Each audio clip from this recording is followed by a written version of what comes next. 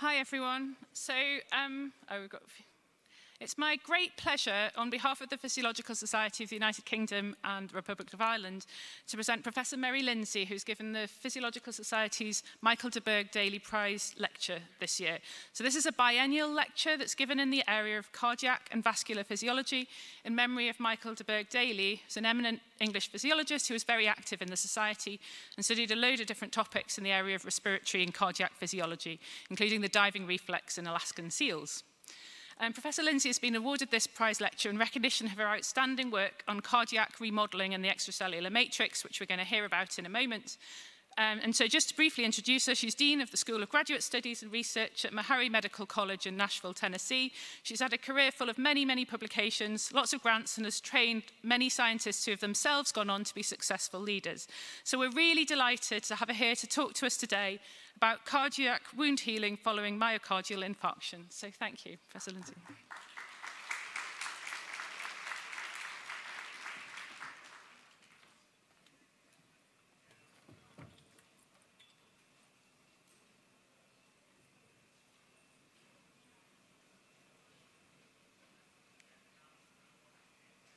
Okay, it looks like I passed the first test. Good afternoon. It's my pleasure to be here. Thank you to PhysSoc for asking me to come and tell you a little bit about our research.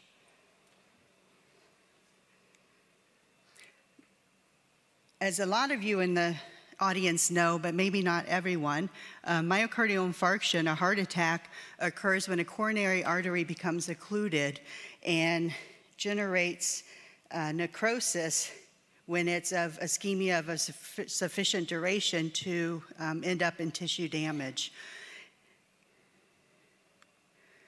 In the US, about 1.5 million Americans have a first or second heart attack each year, and MI is an underlying etiology in about 80% of the cases of heart failure.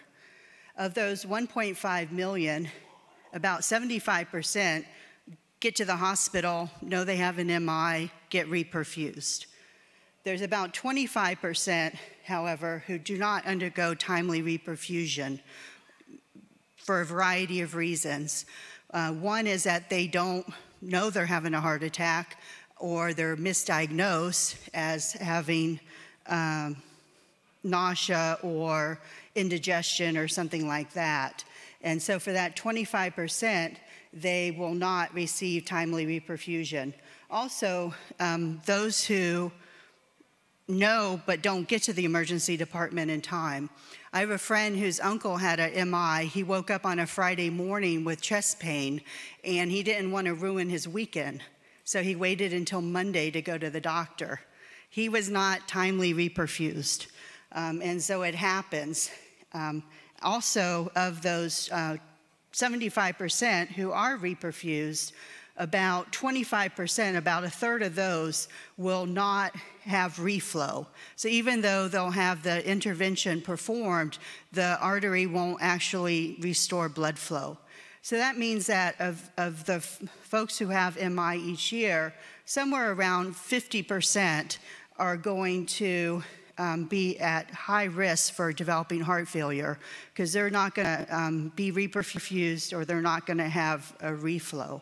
And it's that group that we're interested in studying in my lab to better understand what happens after the MI that sets them up on the pathway to heart failure.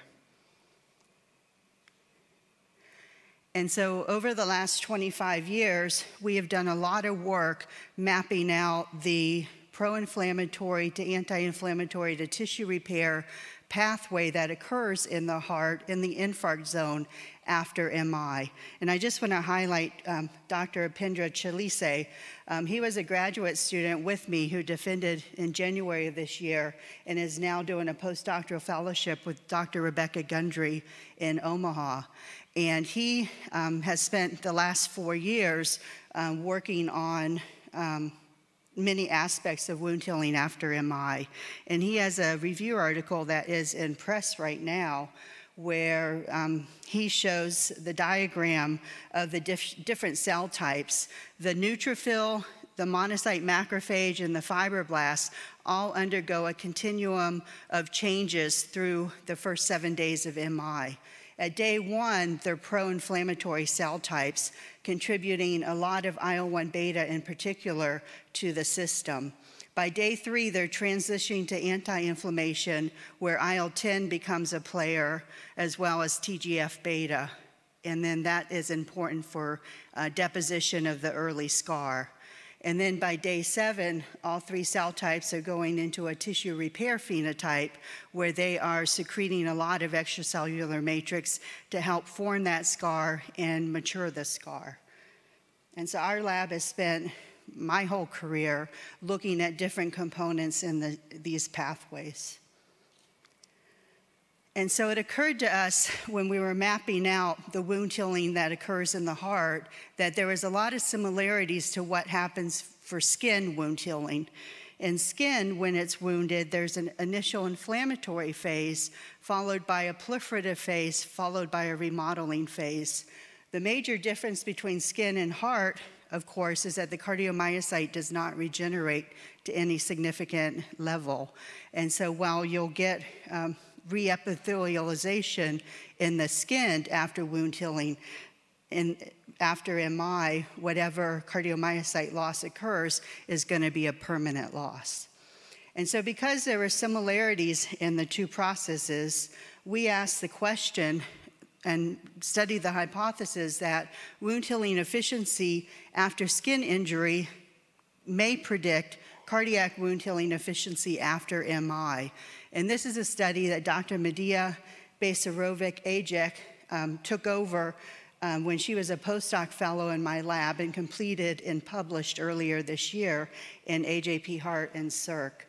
And um, Medea um, was the one who was instrumental in um, putting together all of this data and having a story that made sense. And so I'm happy today to be presenting um, her work. She returned to Sweden in the beginning of July and is setting up her own lab at the University of Uppsala. And so you'll be hearing more about her in the years to come, I'm sure. So, this is the experimental design. We had two injury models. The first was a skin wounding, where we performed, used a three millimeter skin wound um, biopsy punch to wound at the back of the neck between the scapula of a mouse. And then the second injury was myocardial infarction. And so the skin wounding occurred one month before MI. In the, in the same mice, we did skin wounding and measured over three days closure rates of the skin wound and took plasma at day minus 25, which is day three after the wounding. And then a month later, we did give MI surgery to induce MI.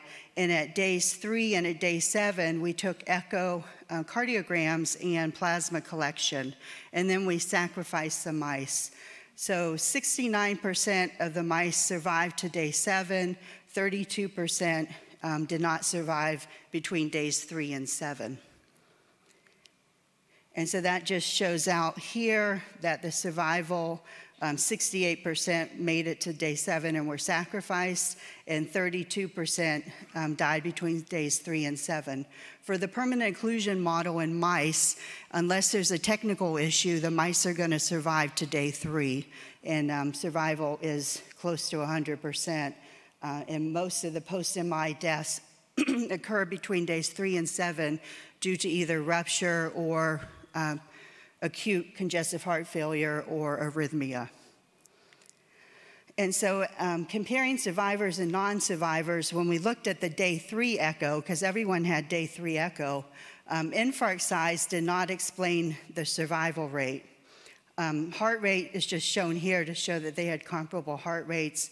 Infarct wall thickness, ejection fraction, fractional shortening, uh, diastolic volume, diastolic dimension, none of those tracked between survivors and non survivors. Systolic dimension, how much dilation was occurred by day three after MI, was the only predictor of who was going to then go on to uh, not survive. Interestingly, when we looked at the skin wound healing efficiency. And so we basically took pictures of the skin wound over the three day period and then measured rate of closure. Those who went on to survive after MI had a faster closure rate than the mice who had the slower uh, rate um, and didn't survive after MI. And so this just shows in a different um, uh, correlation matrix, a different visualization, the same thing, that wound closure at day three was a positive predictor of who was going to go on to survive the MI um, a month later. And at day three after the MI, the extent of dilation measured by systolic um, dimension was a, a predictor of who was going to survive. And so we also performed glycoproteomic analysis on the um, plasma samples from the day minus 25, which is day three after skin wounding, and day three after MI. And we performed um, glycoproteomic analysis because if you know anything about plasma and mass spectrometry, you'll know that albumin and about nine other proteins contribute like 95% of the total protein concentration in the plasma. And so, um, techniques that eliminate albumin from the equation are ways to enrich for other components that may be of interest. And so, we basically use lectin to pull out. Um, proteins that are glycosylated, and then we um, use PGNS, P and GASF to um, take off the glycans and use mass spectrometry to identify those proteins. And so this was a nice way to deplete albumin without having to actually do anything to the sample. And so when we looked at, we're going to look at the day three after MI first. In this cohort, we had um, just under 1,300 proteins, glycoproteins that were identified by mass spectrometry. Of those, there was 278 that differentiated between survivors and non-survivors. That's a lot of protein. Um, and if you're a postdoc or a grad student, you you know, you don't necessarily want to be looking through that whole list. You know, you want to get something quicker, sooner than later um, to get to publication, right? And so what we did was Mediha looked at just by p value and ranked the top 10 here. And we saw that collagen 3 came up as the most different by p value. Um, but then there was a bunch of other proteins um, that didn't necessarily.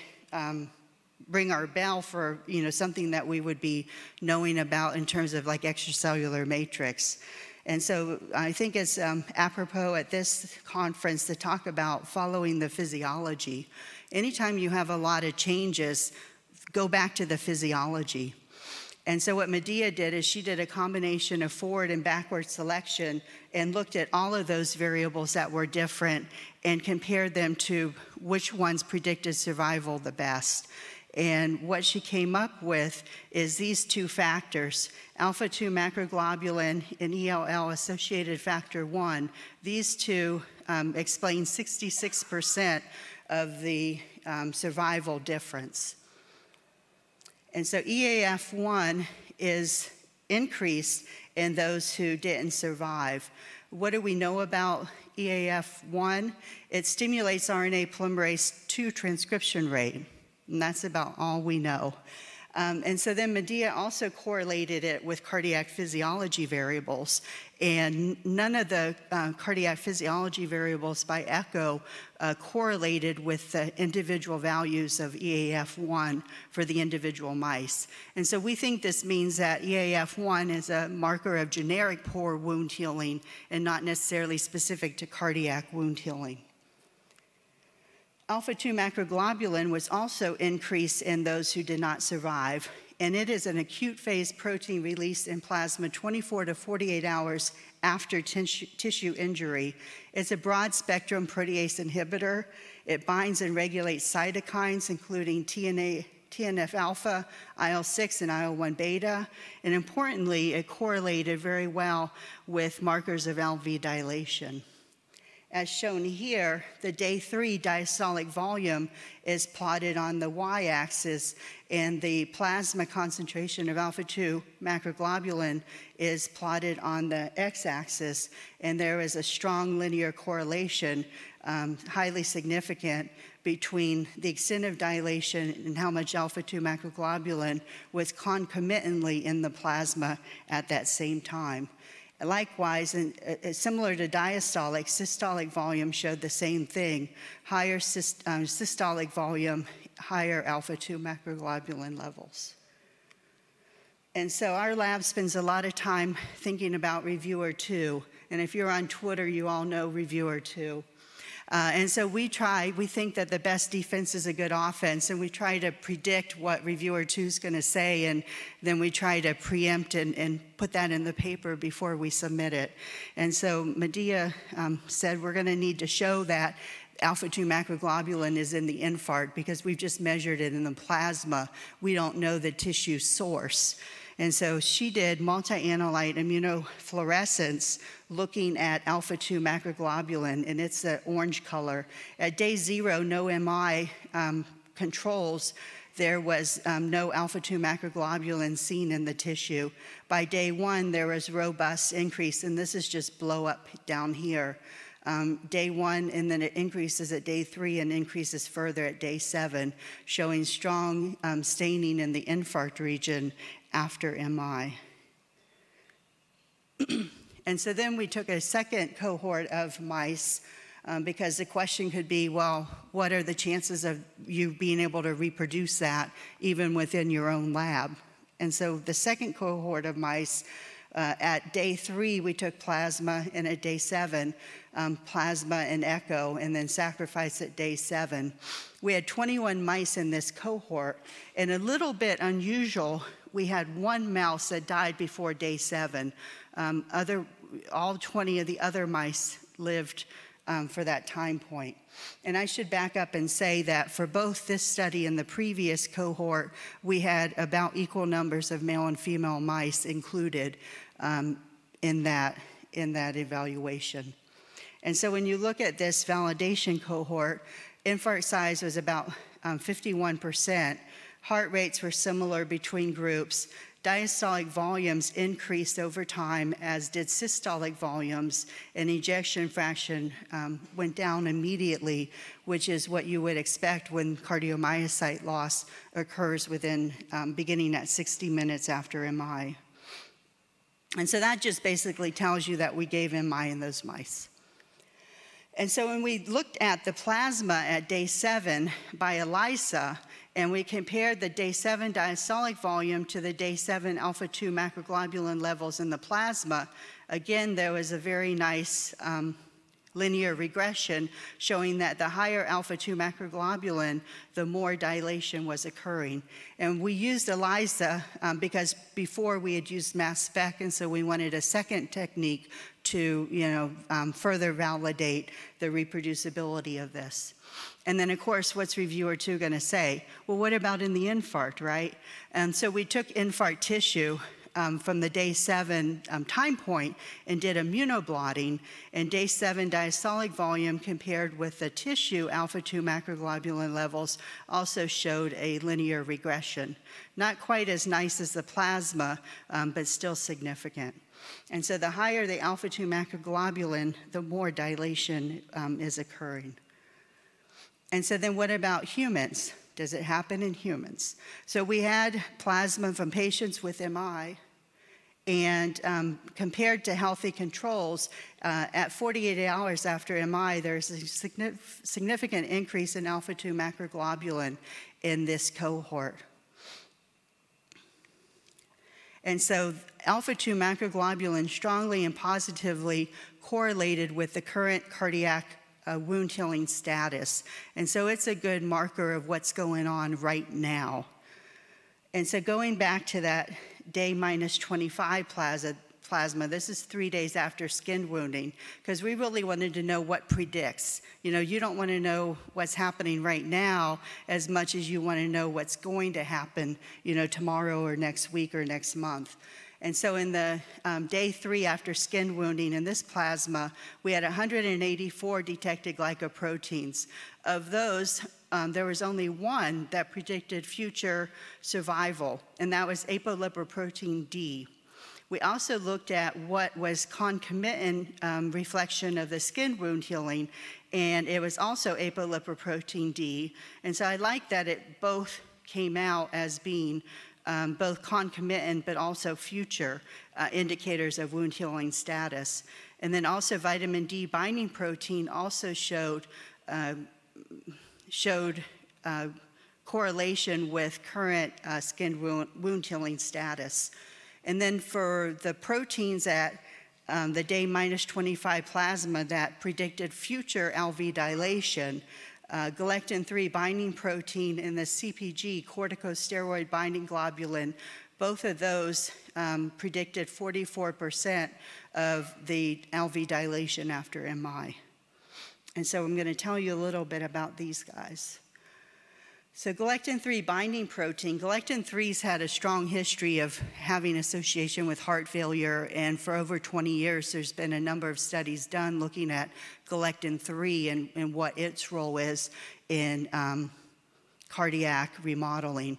This is the binding protein of galectin-3, and in the day um, minus 25 plasma, it predicted future dilation. So plotted on the y-axis is the day three after MI diastolic volume compared with the skin wound um, day three um, plasma levels of galectin-3 binding protein. And there was a negative correlation so that galectin-3 binding protein was higher in those that had less dilation indicating that there may be a protective effect of this binding protein. Um, CBG showed this a similar correlation, but in the opposite direction. CBG was higher with um, more dilation. And so vitamin, uh, vitamin D binding protein correlated with current skin wound healing and predicted future MI dilation. Shown in the first graph is the percent of wounds closure that occurred by day three. And in the x-axis is the day minus 25 vitamin D binding protein in the plasma. And it showed a negative uh, correlation indicating that the higher the vitamin D binding protein, the less wound was closure was closed. And so slower wound closure with more vitamin D binding protein. In the um, day three infarct wall thickness, shown here on the y-axis uh, um, against the day three um, vitamin D binding protein. So this is both day three MI. There was also a negative correlation indicating that the more vitamin D binding protein is seen at day three MI, the more infarct wall thinning that's occurring. And then finally, the diastolic volume at day three of MI compared with the um, skin wound uh, day minus 25 vitamin D binding protein in the plasma had a positive correlation showing that there's more vitamin D binding protein with more dilation. And so moving to apolipoprotein D, it negatively correlated with skin wound healing and later MI survival. Shown on the left is the percent of the skin wound that was closed by day three, plotted against apolipoprotein D. And this shows a negative correlation showing that apolipoprotein D is higher the slower the wound is closing. And then after MI, um, the apolipoprotein D that was seen at day minus 25 predicts future um, survival in, um, in the same cohort of mice. And so it was interesting when Mediha did the Western for apolipoprotein uh, D, what she saw was that there was not a difference in apolipoprotein D. If you look here, um, it shows the arbitrary units. And um, this was um, indicated that it was actually the glycosylation of apolipoprotein D that was different between these groups rather than the total amount of apolipoprotein D. And so that highlights that you really need to look at the um, type of the protein and if it's glycosylated or phosphorylated, et cetera, to know that it's signaling. And so what was interesting is when she looked at the males versus the females, what she saw was in the male mice, there was an increase in apolipoprotein D in the mice that did not survive. In the females, there is no difference. And I'll point out that there is only two female mice that did not survive, and so we couldn't do statistics. But this, um, this um, y-axis, if you look at the scale of this one compared to here, there's more apolipoprotein D in the females at all times um, at both in the both survivor and non-survivor group than there is in the male mice. And so for, for we don't know yet why, but apolipo D is very um, is very strong um, affecting against in the male mice um, more so than the female mice. And so, looking at male mice, uh, Mediha took peritoneal macrophages, stimulated them directly with apolipoprotein D, and then did QRT PCR for a number of pro inflammatory and anti inflammatory cytokines.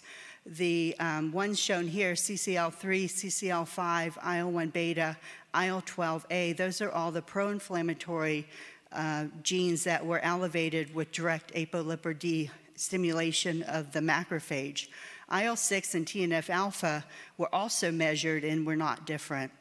Uh, the anti inflammatory genes, only IL 10 was elevated with apolipoprotein D um, stimulation, and its level of um, stimulation is much lower than these other um, pro inflammatory.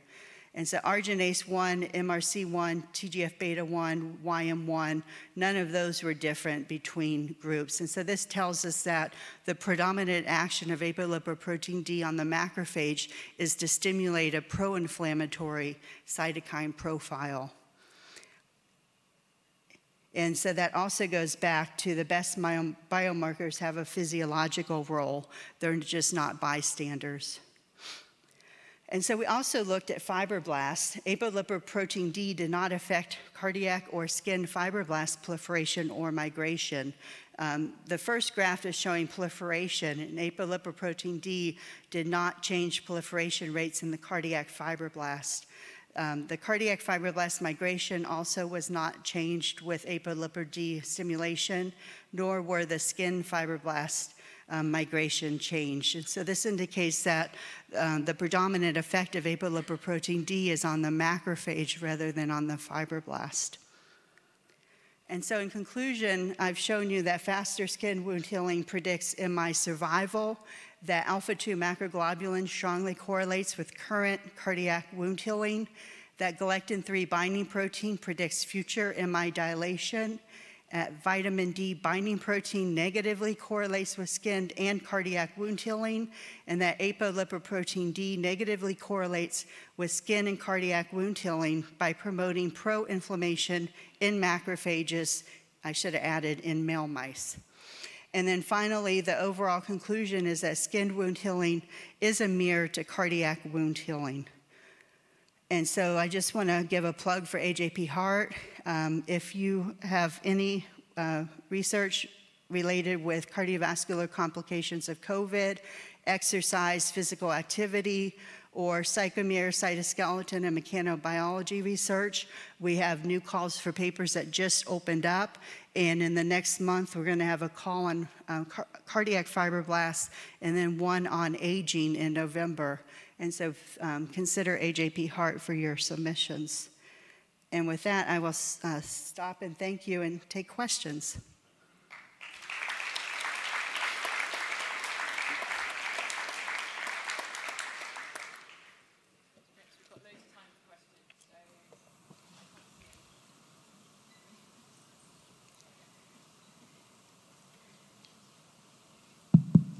George Kararigas, University of Iceland.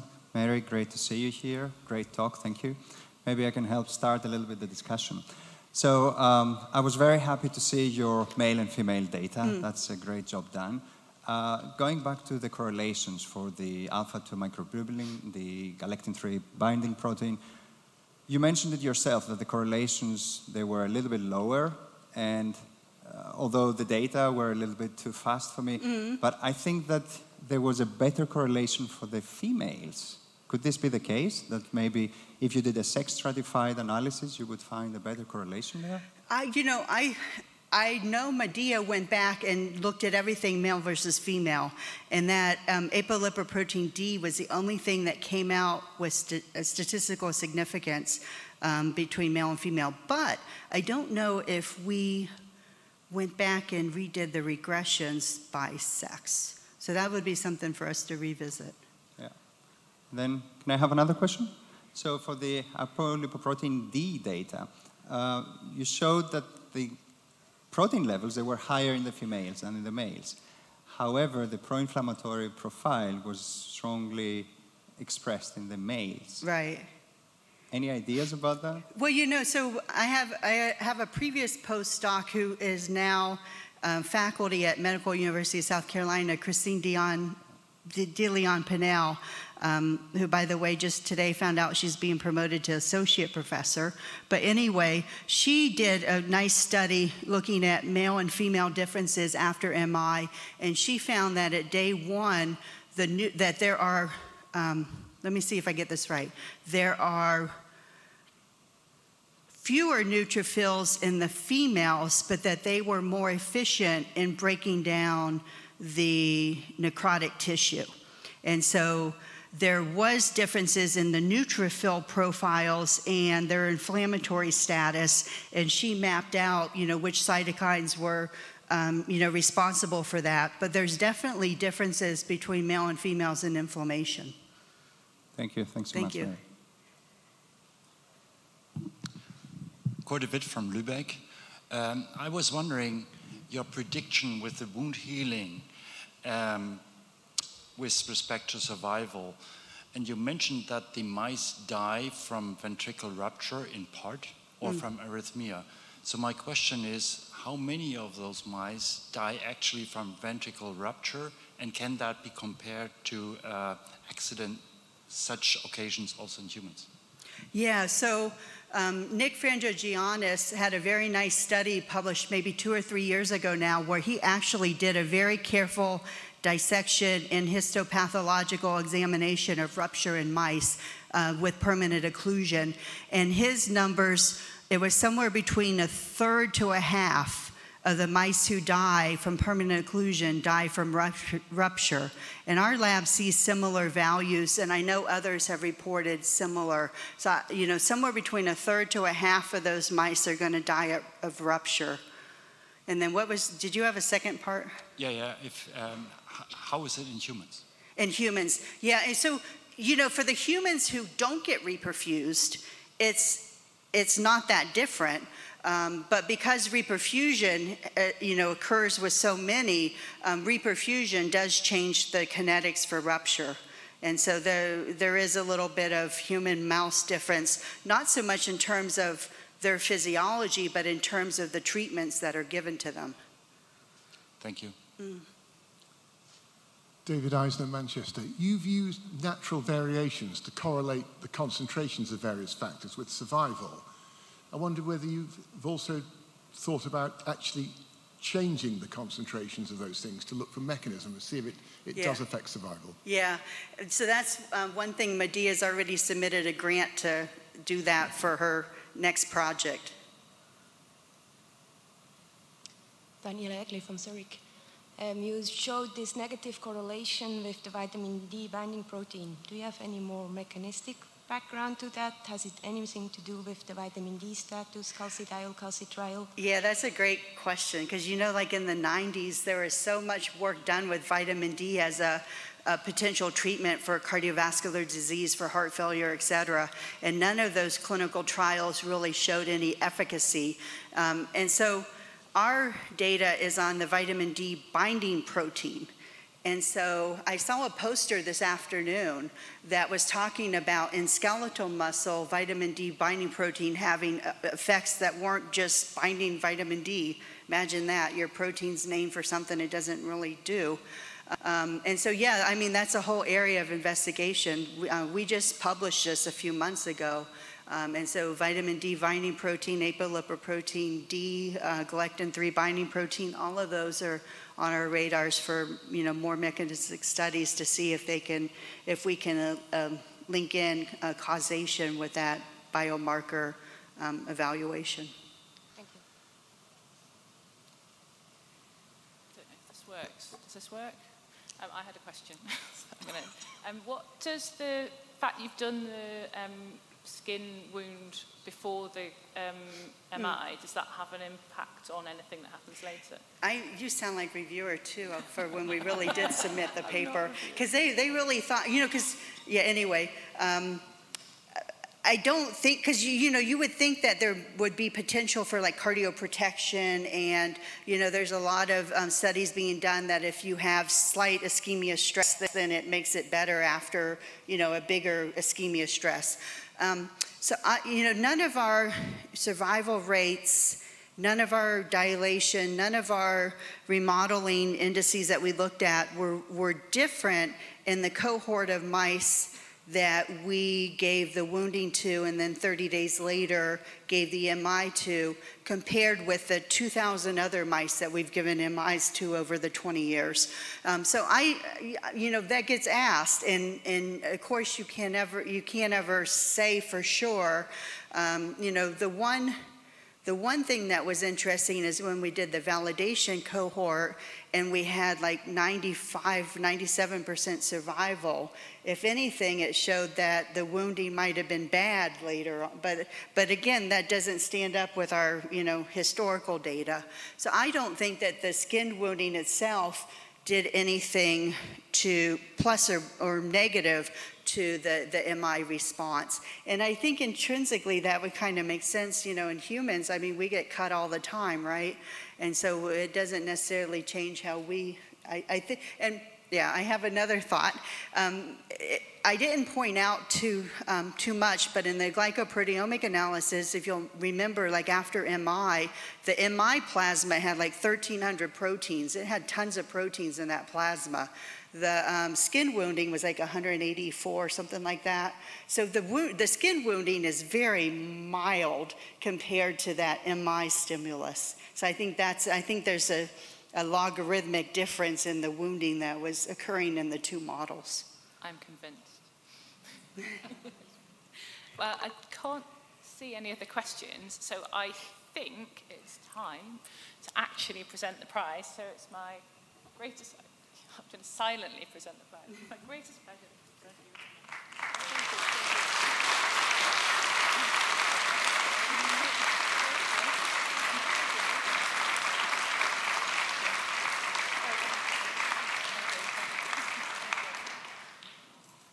Thank you. And, and that's it. And that's it. We're, we're done. It's time for the reception. Yeah, exactly. I think it's just the welcome reception. So um, have a nice evening.